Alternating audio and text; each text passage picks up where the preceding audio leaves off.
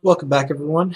Uh, this is CPJ64, aka Kurt, um, aka as some people like to call it, the Map Master. um, so today we're going to be covering part two, editing an existing template of the Map Editor series. So we're going to start with having our island editor up, and we're going to load a project, and we're just going to go and use my uh, my one by one, and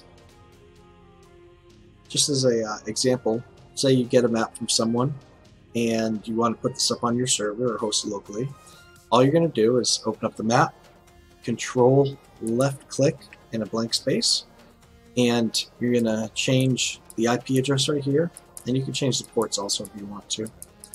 Alright, and then hit save, and then project, edit, and what we want to do is change our friendly name and hit edit and then create get a new ID and we could we could flip this part around and just paste the new ID into there and then edit.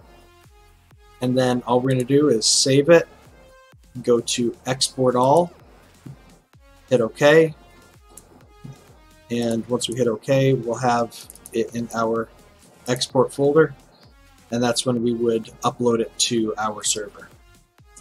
And that is as simple as it can be. Um, to cover a little bit more in depth, uh, if you want to add stuff to it, all you do is drag the islands in. Um, and you can set additional stuff right here uh, if you want to make a free port or a uh, lawless, depending on what type of island it is.